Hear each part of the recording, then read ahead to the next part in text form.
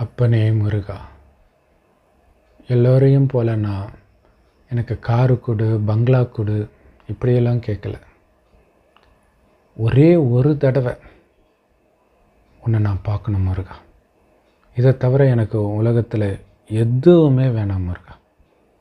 என்னுடைய வாழ்க்கை லட்சியமே இதுதான் முருகா. நீ என் முன்னாடி தோன்ற வரைக்கும் நான் தவம் செய்கிறத நிறுத்த போகிறதே கிடையாது முருகா. ஓம்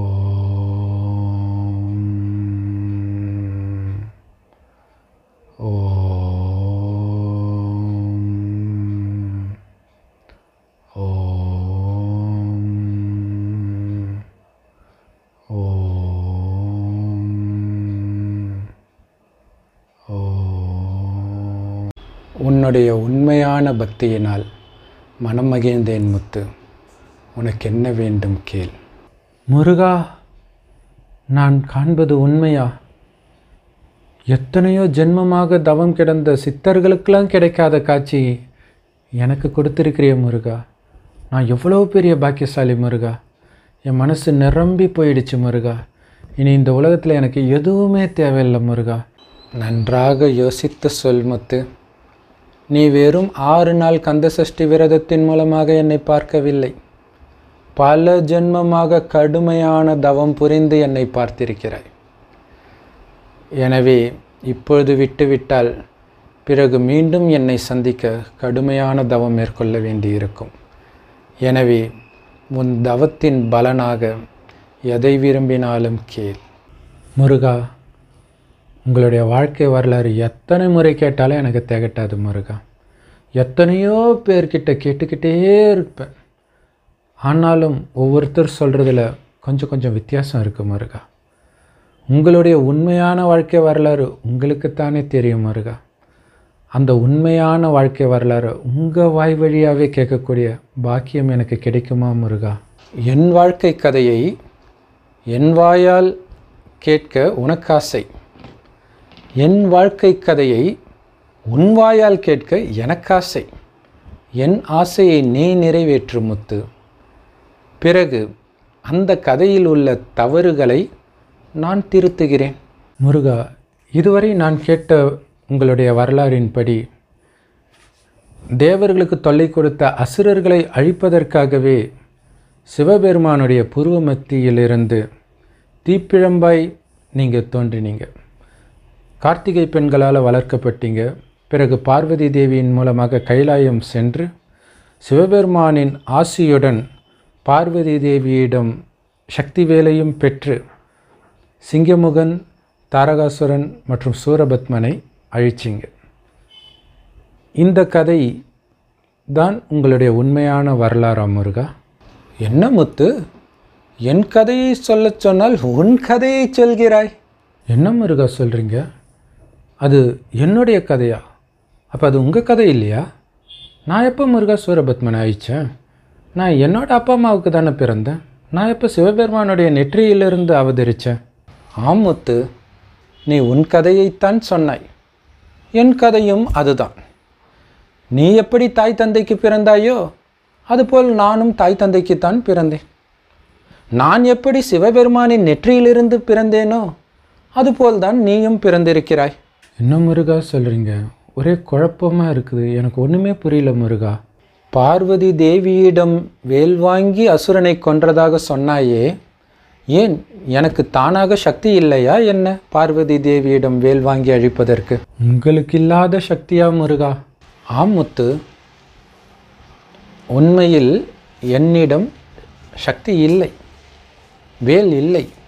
அதனால்தான் பார்வதி தேவியிடம் சக்தி வேலை வாங்கி சூரபத்மனை அழித்தேன். என்னிடம் இருந்திருந்தால் நான் எதற்கு பார்வதி தேவியிடம் இருந்து வேல் வாங்க வேண்டும்? ஆனால் நீங்கள் அனைவரும் நினைப்பதைப் போல் மனிதர்களை கொலை செய்யும் வேல் அல்ல இந்த வேல். இது ஞான வேல் ஞானமாகிய வேல். இதன் அர்த்தத்தை தெரிந்து கொள்ளாமல் இந்த வேலுக்கே மிக அருவருப்பான அர்த்தங்களை எல்லாம் மனிதர்கள் பக்தர்கள் சொல்லிக்கொண்டு இருக்கிறார்கள். பாவம் அறியாமையில் அப்படி பேசுகிறார்கள். உண்மையில் இந்த ஞானமானது பார்வதி தேவிக்கும் சொந்தமல்ல.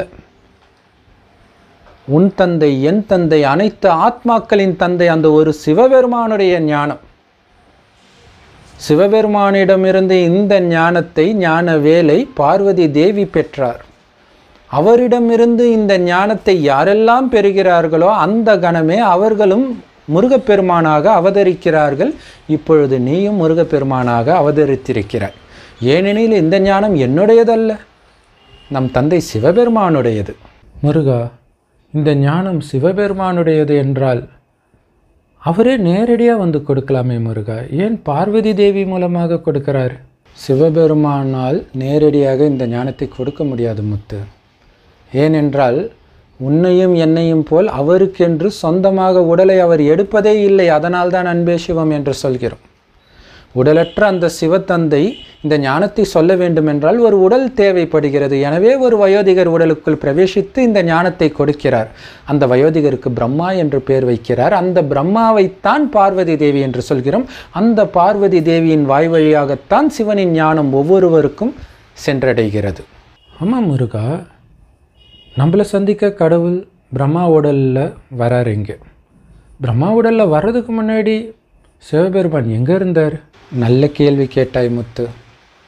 சிவபெருமான் மட்டுமல்ல ஆத்மாக்களாகிய நாமும் இந்த பூமியில் வந்து உடல் எடுப்பதற்கு முன்பு நம் தந்தை சிவபெருமானோடு பரந்தாமத்தில் இருந்தோம்.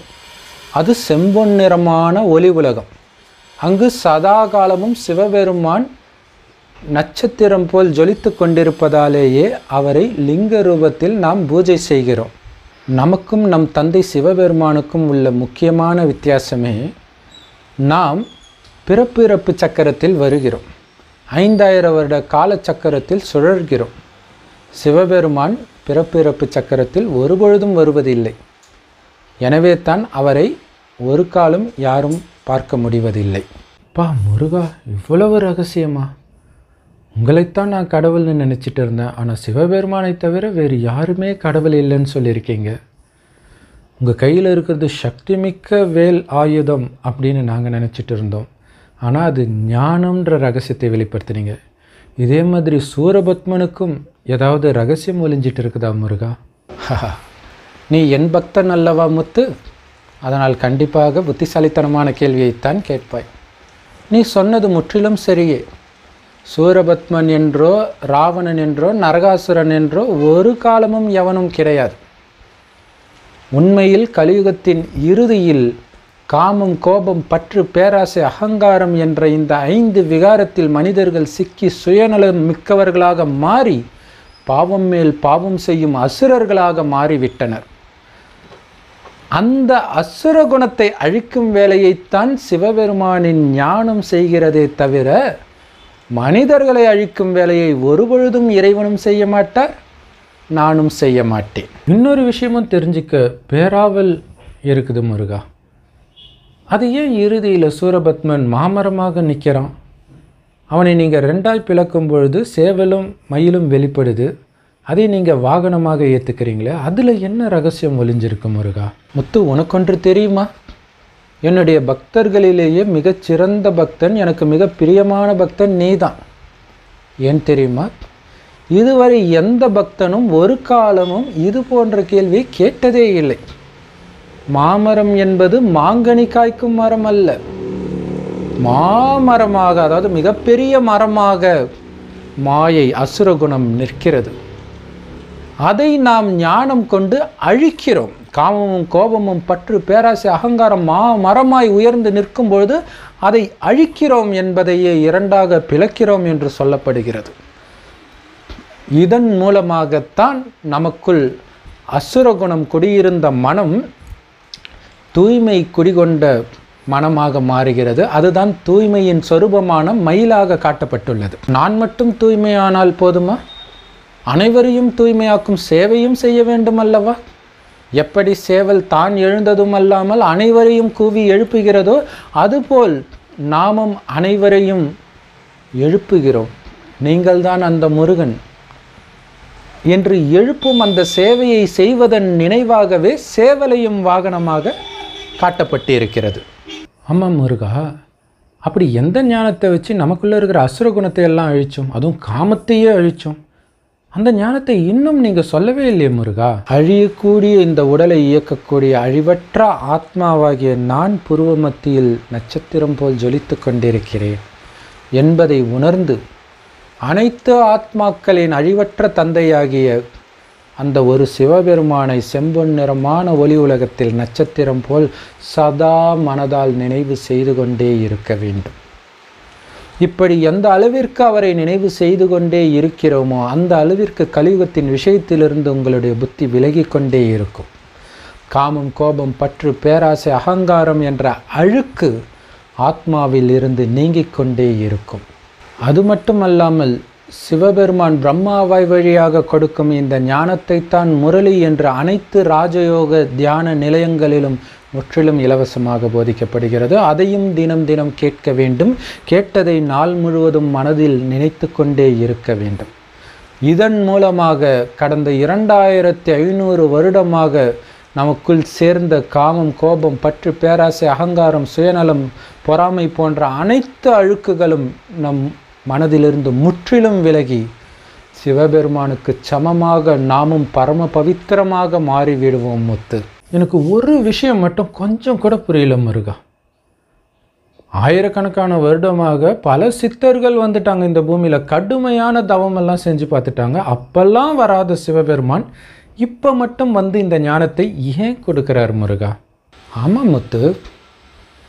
எப்படி இரவு முடிந்தவுடன் சூரியன் வருகிறதோ அதுபோல் கலியுக இரவு முடிகிற நேரத்தில்தான் ஞான சூரியனாகிய சிவத்தந்தை வந்து நமக்குள் இருக்கும் அஞ்ஞான இருளை நீக்குகிறார்.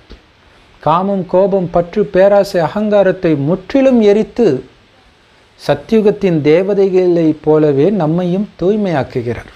சத்யுகத்தின் தேவதைகள் யாருக்குள்ளும் காமம் கோபம் பற்று பேராசை அகங்காரம் என்ற அழுக்கு இல்லாத சிவபெருமானைப் போலவே பரிசுத்தமானவர்களாகத்தான் இருப்பார்கள்.